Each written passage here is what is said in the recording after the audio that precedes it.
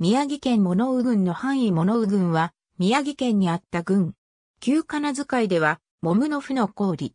1878年に行政区画として発足した当時の郡域は、東松島市及び石巻市の一部にあたる。物宇という地名が文献に初めて現れるのは歴史書、俗日本記においてである。これの天平法事元年4月4日の上に、道の区国物宇が含まれる。さらに、法記2年11月の上に、道の区国物宇軍が現れる。したがって、物宇軍の成立はこれ以前であろうと考えられている。和名類受賞では、物宇に、盲棒の符と、軍が付けられている。もむの符という言葉が先にあり、後から、物宇の字が当てられたものとされる。古代の物宇軍には、上作として、物宇城が置かれた。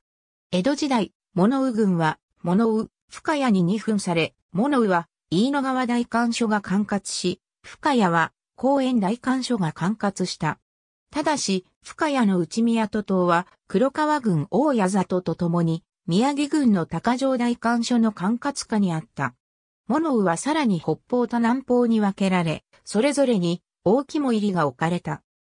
1、宮戸村2、野ビル村3、小野村4、宝井村5、鹿俣村6、深谷村7、前八地村8、中津山村9、物宇村10、大谷地村11、飯野川村12、橋浦村13、二俣村14、大川村15、15、浜村衆議院参議院貴族院地方自治体首長、奈良時代、平安時代室町時代戦国時代江戸時代、明治時代、ありがとうございます。